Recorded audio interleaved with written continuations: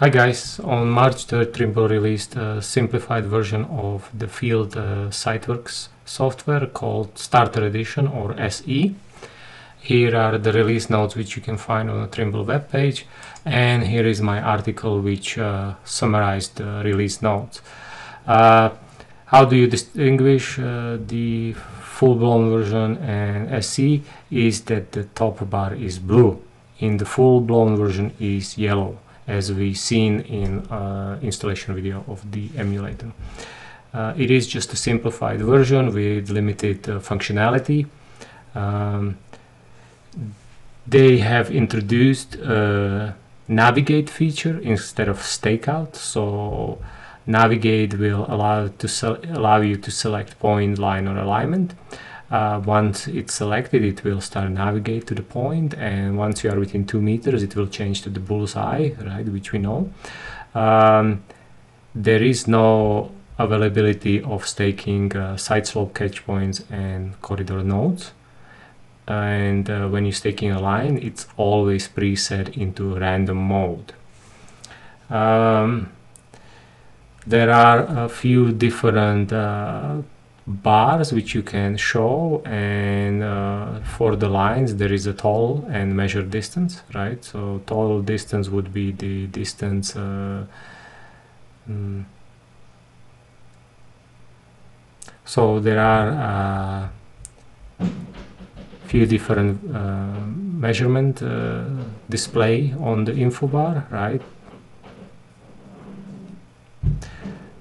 There are a few different info bars which you can display. Uh, for example, for the line measurements, you have the taller or measure distance. The um, option uh, will be granted through the cog or gear menu and allows you to select uh, to display slope and number of decimal points. Uh, the total distance include the segment distance uh, from the last measure point to the current location as the measure distance only includes uh, the distance between measured points, so not that last segment where you're actually standing. Few routing features available. Uh, the usual, it accepts the file format as the VCLM Pro, which we are used from way back when. Um, there is no difference in the folder structure or actual uh, core uh, work uh, works manager compatibility is full.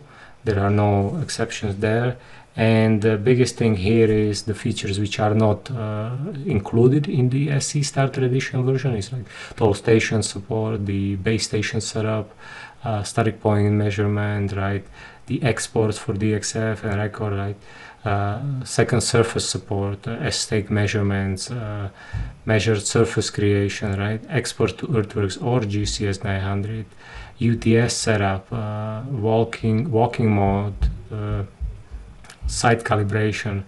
Uh, obviously, we mentioned the side slope catch point corridor node staking for the roading. It's not available. Surface point measurement cut fill and elevation grids, uh, break, on, break lines, outer and volume boundary measurements. You cannot create the points, you cannot key in corridors, stake out surface, stake out plane, no volume calculation, and also not support for the FXL uh, feature codes. So in a, in conclusion, who, is it meant for? Maybe a site supervisor. So you have a site surveyor who will perform all the calibration setups and everything, and then you have a like site super who would like to know what's going on at the site uh, on you know day-to-day -day basis uh, without any need of any survey features. Hope you guys found this uh, informative. Uh, hit like and subscribe for our next video.